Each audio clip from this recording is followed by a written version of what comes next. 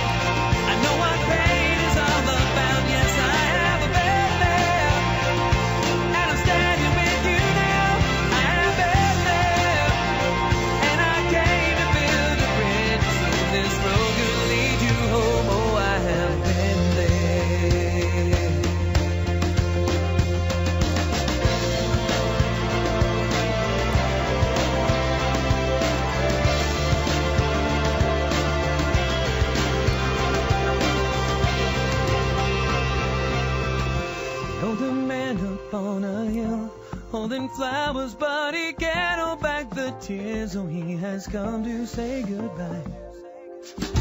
Thinks about the life she lived,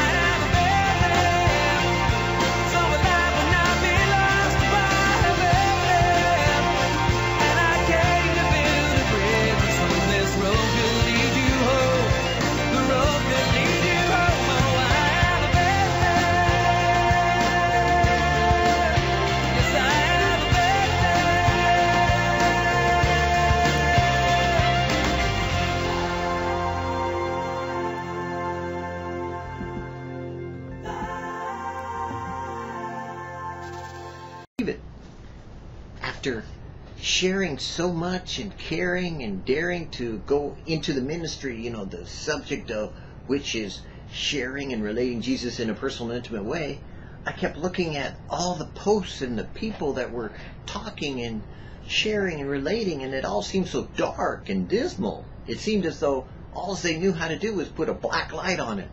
You know, black light that only lights up certain things doesn't really show the light of the gospel of the grace that God has given each one of us to shine in this darkened time, that we could be the light of the world, that we could show more joy, peace, and love and compassion than anyone has ever seen, especially when such evil exists in the world.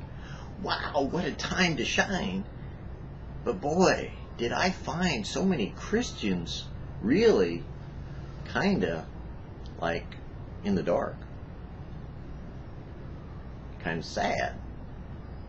They were kind of mad, you know, political type people, social event type people, you know, kind of carnal and kind of caught up in the world and its ways. Man, I don't know what you do, but I know I like being in the light. I like thinking about what Jesus did when he came and brought the light of God into the world and the world received it not. It was as though, wow, you're kidding me. The creator of the universe appeared and people rejected him? Huh. I wonder what it'd be like today. Well, I'm sorry, God, but you're not a Democrat, so I'm not I'm not accepting you. I'm sorry, Jesus, you're not a Republican. I'm not gonna follow you. Man, what kind of light is that? I don't know about you, but boy, if the only light you have is darkness, you better quit being, you know, children of the light, and you need to be a baby, you know, the word. I think it'd be better to be a baby of the word than a child of the light, you know, because you're really not going in the right direction if you're constantly in the dark.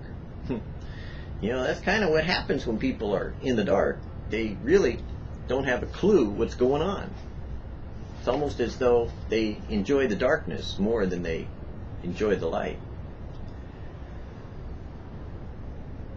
My presence shall go with you, and I will give you rest. Be strong and of good courage, fear not, nor be afraid of them. For the Lord thy God, he it is that doth go with you. He will not fail you, nor forsake you. The Lord, he it is that does go before you. He will be with you. He will not fail you, neither forsake you. Boy, I could read that twice and see if I'm reading it again. Fear not, neither be fear not, neither be dismayed. Have I not commanded you? Be strong and of good courage. Be not afraid, neither be thou dismayed, for the Lord God is with you wheresoever thou goest. In all thy ways acknowledge him, and he shall direct thy path. Huh. Neither be dismayed. Seems like the Lord is trying to get through today. I guess he knew my heart from yesterday because he doesn't want me dismayed. He wants me to be light. Hey, I got a word. Came from the Lord. Lighten up.